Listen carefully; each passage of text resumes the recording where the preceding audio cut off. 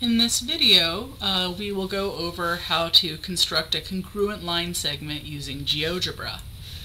To start with, we are going to turn off this grid because that's not helpful. So I'm going to turn off show axes and then I'm going to go into show grid. I'm going to say no grid because we're not really working in coordinate geometry here. We're working with a blank piece of paper. So now that I have a blank field to work on, I'll start by just constructing any segment, any segment I want. I'll pick a point, there's A, there's B, there's my segment. And then I'm going to need a point that will be part of my congruent segment and that isn't on AB. It, it could be on AB, but that gets ugly, let's not.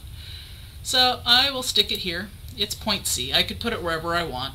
And now what I need to do, I need to get something that's the same length as A to B, but that starts at C.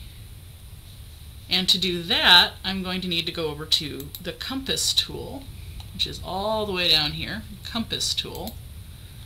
And this, first I say I'd like to set my compass to this radius, so that's like putting the two points of the compass, one on A and one on B, and then I say, and I'd like to actually swing that now that I've got it measured from C. So now I have something that has a radius the same as A and B that's a circle.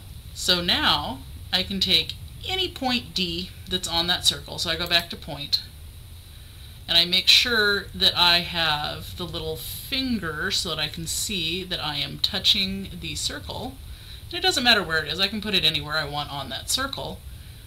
Point D. And then I can use my segment tool, connect those points, and I have a new segment that is congruent to that first segment.